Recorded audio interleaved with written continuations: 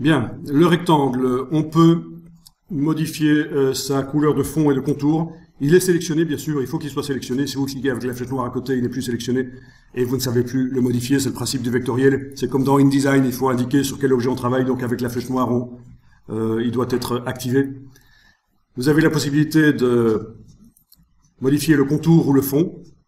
Actuellement, visiblement, le rectangle il vient avec des, un contour noir par défaut et un fond blanc. Alors vous allez dire, mais le fond blanc, euh, on le voit pas puisque le, fond de, la page, le fond du plan de travail est blanc. Faux. Le fond du, du plan de travail est transparent. Mais pour parce que c'est fatigant de vous montrer un damier de transparence en permanence, Illustrator vous montre le fond transparent en blanc. Testez ceci, allez dans le menu Affichage et demandez Afficher le damier de transparence. Voilà. Là, vous voyez qu'on a vraiment affaire à un rectangle blanc avec euh, un fond euh, noir. Un contour noir, je veux dire. Un fond blanc et un contour noir. Voilà. Ok. L'aspect du damier de transparence peut être modifié. Euh, si vous voulez absolument travailler en voyant la transparence, parce que vous travaillez pas mal d'objets qui sont blancs, ça, ça pourrait être intéressant il y a possibilité d'aller euh, modifier ça. C'est dans, oui, c'est différent de, de, ce qui se passe dans les autres logiciels. Euh, ici, dans Photoshop, ça se fait par les préférences de transparence.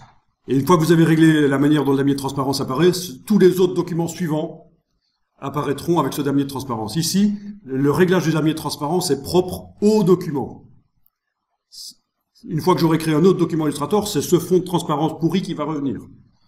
Alors, dans Fichier, format de document, Fichier, format de document, vous avez ici les options de transparence et euh, on peut choisir couleur moyenne, gris, grande. Ok, voilà. On peut même aller retourner dans Fichier, format de document.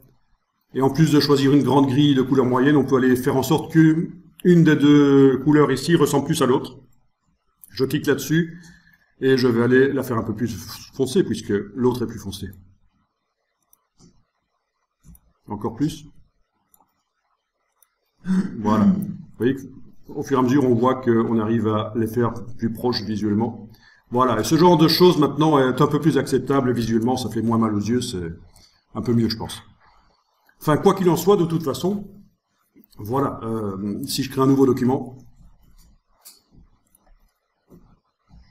ne le faites pas, je vous montre juste affichage, afficher le damier de transparence. Voilà, c'est l'ancien damier de transparence qui arrive. C'est pour ça qu'à un certain moment, ce sera intéressant de, voir que le document de départ, quand vous faites un nouveau document, le document de départ, on, on peut le modifier.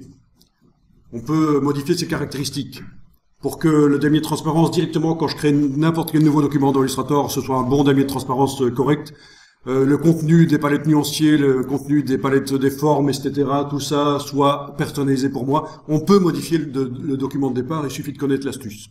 Il suffit de savoir comment on fait. Et pour ça, euh, je pense que je devrais, dans les préférences générales, utiliser l'ancienne interface de création de nouveaux documents.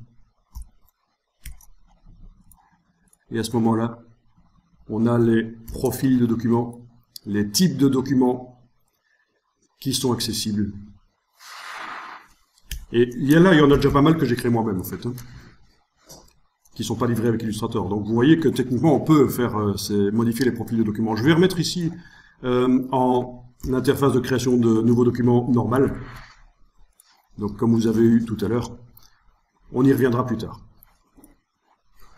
Alors, affichage, euh, ben, de transparence, on va le masquer. C'était juste pour voir que oui, en effet, notre objet est blanc. Et le fond, lui, n'est pas blanc, hein, c'est de la transparence.